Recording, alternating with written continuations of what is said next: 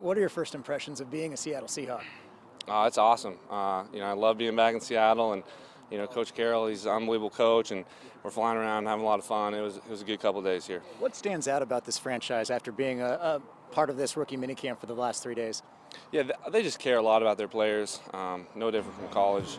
Um, just growth and development is all they're what they're about, and um, you know that's the cool thing about this program. Every year they get better. Every every year they reload and they get better. So um, I'm excited to continue working with these guys. There's been a strong emphasis this offseason about getting back to a hard-nosed running attack.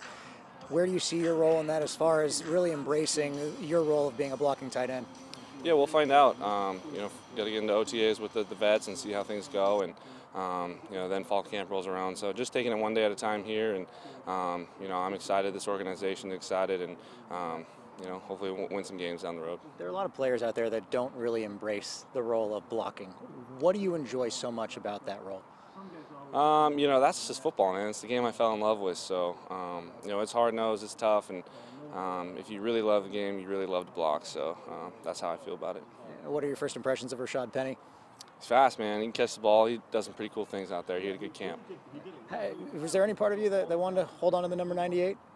A little bit, but I guess it's ineligible. Someone told me that earlier. So, um, yeah, we'll see what we can do in 88. Yeah. Well, you're in 88. Obviously, Jimmy Graham was in it last year. Um, just what are your thoughts about following in his footsteps in that number here in Seattle? Yeah, and I mean, you know, it's guys like Jimmy Graham, Jason Witten, Greg Olsen, guys that wear 88 that make this number special and make tight ends want to wear it. So, um, you know, I was 98, needed a new number, and 88 is a really good tight end number. So, um, just trying to be the best Will Dissly I can going forward, and um, you know, hopefully we, we can do some cool things with the Seahawks. Have you heard from Coach Pete?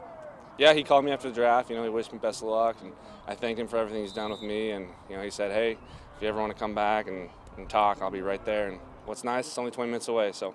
And lastly, have you heard a reaction from Husky Nation being part of the Seattle now? And obviously, it's an easy transition for the Husky fans to be rooting for you here also as well. Yeah, it's it's exciting, man. I've had so much support, you know, not only from the Husky fans, but you know, back home in Bozeman, and um, you know, now the 12s are, are coming in too. So Seattle's great.